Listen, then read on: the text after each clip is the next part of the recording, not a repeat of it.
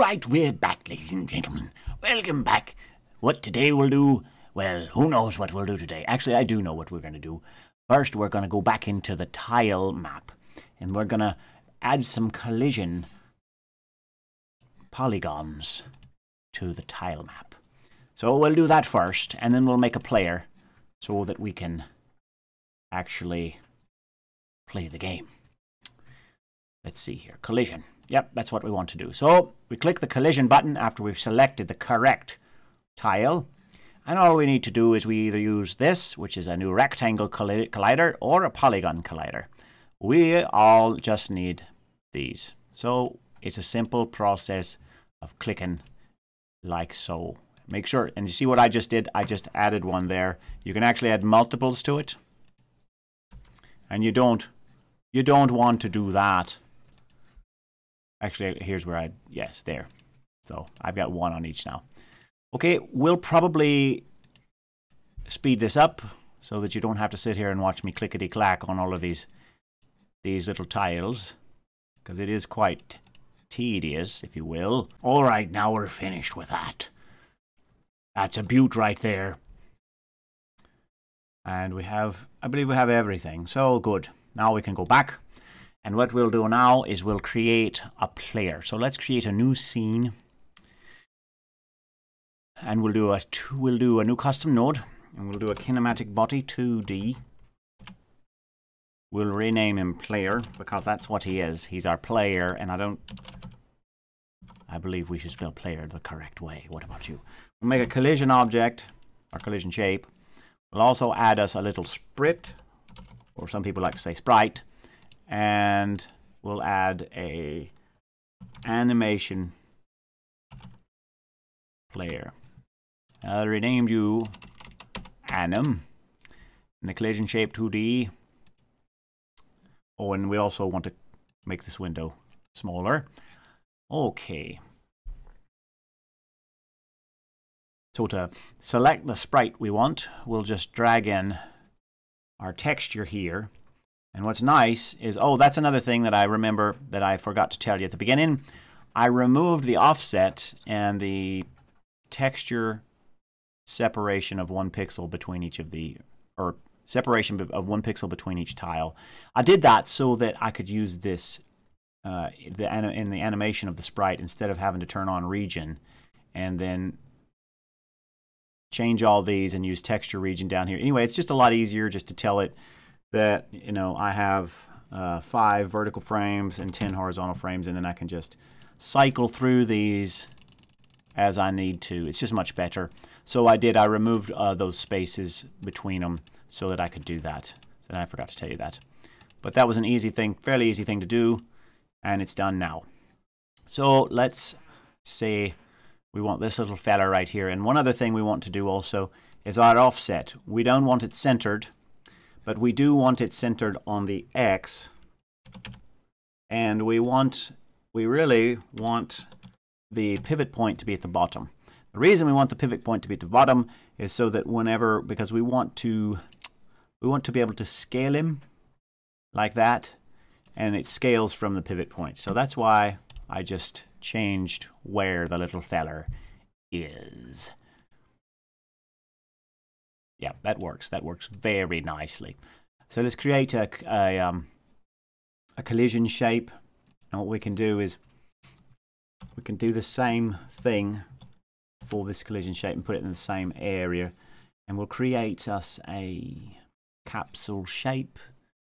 And that's not going to that's not going to something we want to do is it we want to actually put it at zero and uh, we probably want to put it at minus 6 as opposed to minus 12 uh, or maybe even smaller than that because it's going to get very tiny. Now that's that's actually what we want but we he's he's very close to being a circle actually.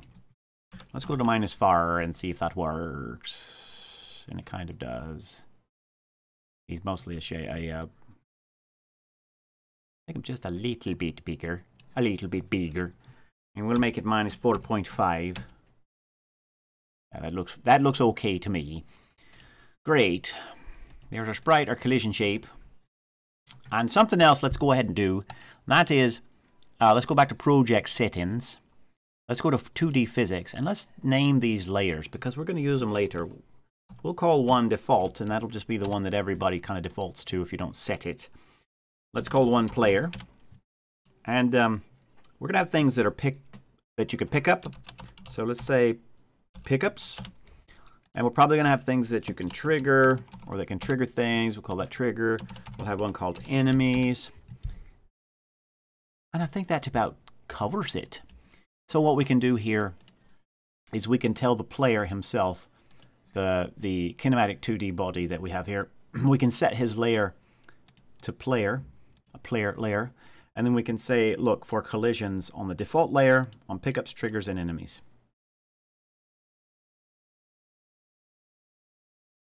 And then we're good. Player doesn't need to collide with himself now, does he? that would be crazy. and we're not crazy here. All right, I'm saving that.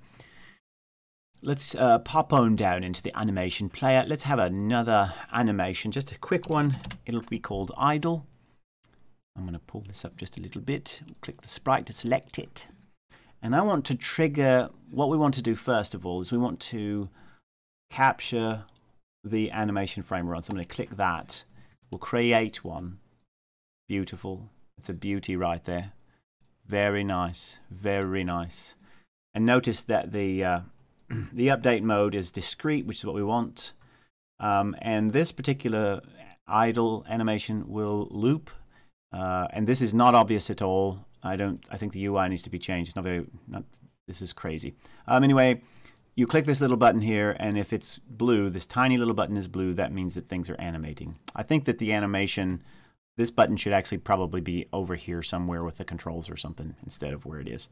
Um, I think they're going to do some revamping of some of this stuff in Godot 3.2 anyway. So let's keep it at one second and let's do a scale. So we're going to change the scale of this little guy to make it look like he's kind of breathing or something. A little bit of breathing and whatnot. So let's let's let's click it up to the to the half a second and then let's do some scaling here. Let's scale him down in the X and maybe up a little bit in the Y. And let's see what that looks like. Oh, and I didn't keyframe it. How silly of me. I didn't click the button. We'll scale him down a little bit in the X. Maybe something like that. Up to like 1.5. We'll click the key button. And now we'll hit play. That's not too bad. Actually, I think it could be two seconds long. TBH with you. TBH. That's to be honest. Just made that up. Pretty good, hey? Let's play this now and see what it looks like. Yeah, slower. I like it. I like it. Let's let's print it. Let's do it. It's production value. Right. Great, great job. I'm going to save that. Let's do... Um, let's do a walk because everybody needs to walk, right? So sprite, um, we will need to select which one will we select first. I believe. I, th I think we select this one first. I'm just guessing. We'll try this one here. And I'm thinking we may be something like four tenths of a second or something of that nature. I'm going to go to another tenth and we will mm, here, this little fellow. And the next one will say something like this, maybe. We want to loop this one as well, so we'll click the little button. And we've, we've got this all wrong, don't we? Uh, we probably want to do this one, make that one the one where he plops down like that, say. And then, oops. So we get, we need to get rid of that one. Rid of it. Point one. Actually, let's just do this. Let's just move them. We can move them around. How about that? See what that looks like. Yeah, that looks really weird, doesn't it? let's let's duplicate that one and put it there. What does that do? I mean, that kind of works, actually. Let's put him really where he belongs, which would be right there. I mean, he's got a little bit bouncy. You know, I don't know. That might be a little bit too bouncy. Maybe just a bit. We don't have that one. Let's try that one instead. What does that look like?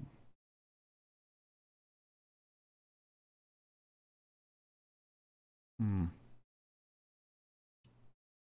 Actually, I'm going to undo that. And instead of that, let's delete you. Let's go back to this one. And let's add our standing one here. I think that would be much better. And then we'll duplicate this little guy. Duplicate. Uh-oh. No, no, no, no, no. No, don't duplicate here. We'll just do this then.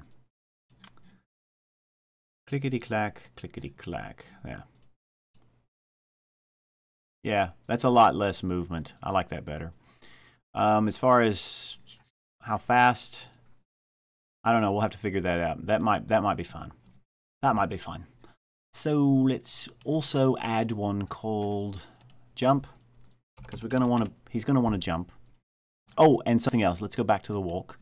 We also need to add at the beginning of this keyframe, we want to make sure that the scale is at 1.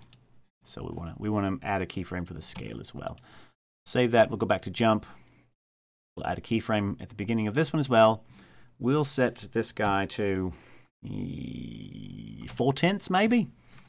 We'll start him on the little, this, this right here. Create and maybe uh, this one, this one, and this one. Boom. That's, that's a little bit odd, I know. We may have to squeeze these in some more.